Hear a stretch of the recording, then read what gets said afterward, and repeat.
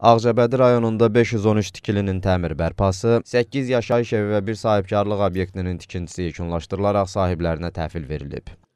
Hazırda bir qeyri-yaşayış obyektinin inşası və 5 tikilinin təmir bərpası işləri davam edir. Ən qısa zamanda rayonda işlərin tam yekunlaşdırılması nəzərdə tutulur.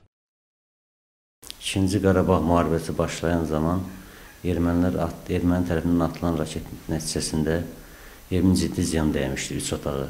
Evimizi təmir bərpa edib ki, qəşəng bərpa ediblər. Evimin damın, içərisinin, polun, patoloğun, bütün pəncərələrin, aynaların hamısını artıqlamasından düzəldiblər. İkinci Qarabağ müharibəsi zamanı 5 oktyabr 2020-ci il tarixdə qrad mərmisi evimizə düşdü. Tamamilə dağıtdı, yararsız vəziyyətə saldı evi. Evi tamamilə çürüdülər, götürdülər, yerinə yeni təzə ev tikdilər. tamamilə razıyıq. 5 otaqlı evdir, hər bir şəraiti, kombisindən belə hər bir şey çəkib veriblər.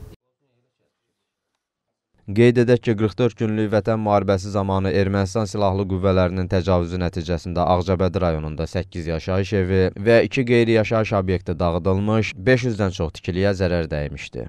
Ümumilikdə 11 şəhər və rayon ərazisində 13 mindən çox tikiliyə ziyan dəyib ki, hazırki mərhələdə onlardan 12 mindən çox yaşayış və qeyri-yaşayış obyekti üzrə tikinti və təmir bərpa işləri artıq yekunlaşdırılıb.